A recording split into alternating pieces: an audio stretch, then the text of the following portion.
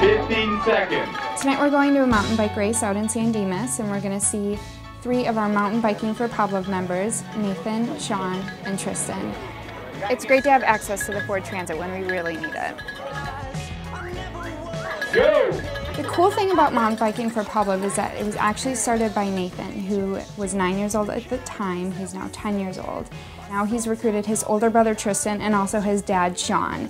Their mom worked at Children's Hospital, and Pablo was at Children's Hospital while she worked there. And um, they had a little Pablog on the computer, and we would read it every day. And Pablo's dad would write beautiful things, and it affected us all. And uh, Nathan, me and Nathan kind of together said, wouldn't it be cool to mountain bike race for Pablo?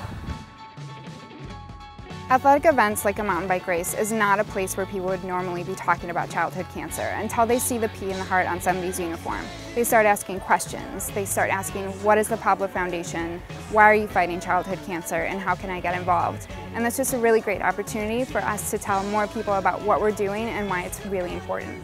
Any athlete is welcome on Team Pablove, whether you've run 12 marathons or you've been racing your mountain bike for years or you're brand new to running, you want to do a 5K, you want to start a softball team in your neighborhood, anyone is welcome on Team Pablove. Sean Hickey, Team Pablove. Yeah, it's something you should do.